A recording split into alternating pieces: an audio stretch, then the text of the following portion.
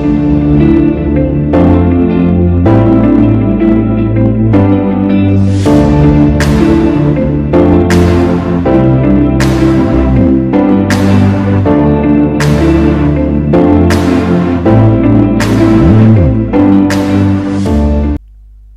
dear YouTubers, in this short tutorial I am going to show you how to install and use EasyBCD version 3 2.3 so what is EasyBCD?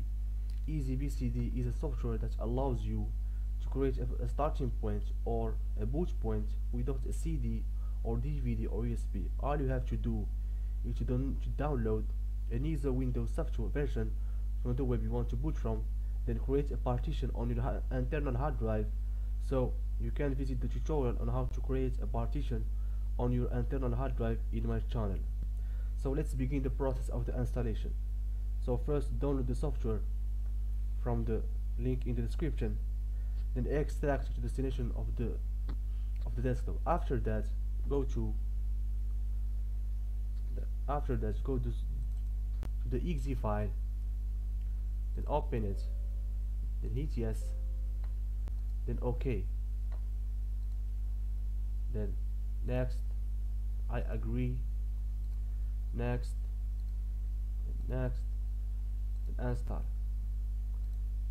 then EasyBCD has detected that your machine is currently booting in EFI mode due to limitations set by Microsoft. Many of EasyBCD's multi-booting features cannot be used in EFI mode and have been disabled. Press OK to continue or help to read more about this limitation and possible workarounds. So what you're gonna to do is to add an entry, go to add a new entry, then go to WinPE, then in name you're gonna to choose the name of your the name of your, or the version of your Windows that you or Linux or of the Windows you have you have downloaded. Then in my case I will choose Windows 10 then path I will go to then go to this PC.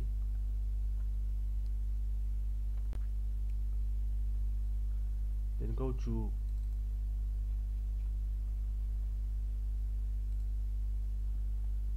uh,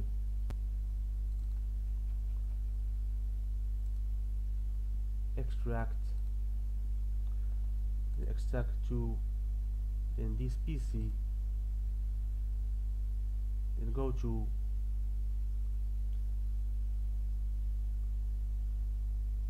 uh, an example new volume then OK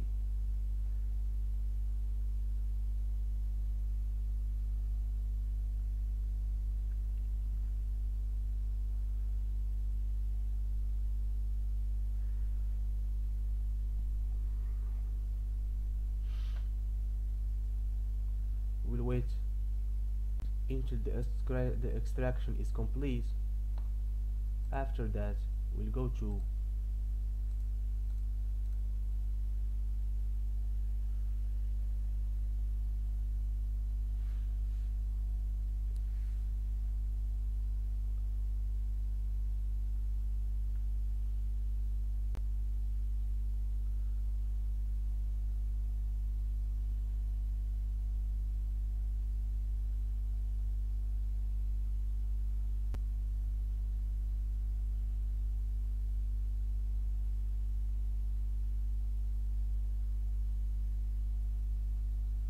after that.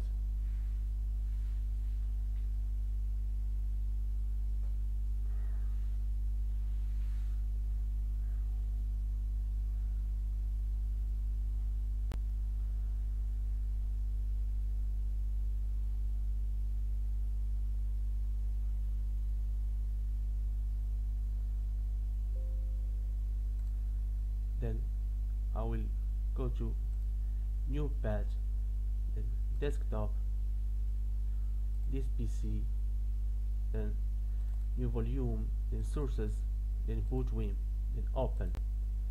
After that click added entry then go to edit boot menu. And after that you're gonna to as you can see the boot menu is successfully edited. So what you're gonna to do now